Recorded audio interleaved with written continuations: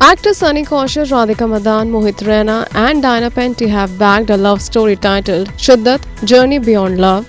While Radhika is paired opposite Sunny, Mohit will be seen with Diana in the film produced by Dinesh Vijan, who has delivered three hit films Hindi Medium, Stree, and Luka Chuppi. Directed by Kunal Deshmukh, the film will go on floors in September and will be shot across Punjab, Paris, and London.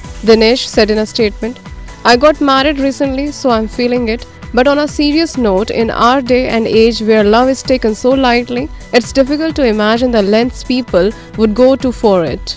Shiddat is not only a love story about love, but the distance one travels for it. The passion that overcomes maybe all senses or logic to do things that you wouldn't usually imagine, the belief in something with all your heart, and the drive to achieve it. That's Shiddat.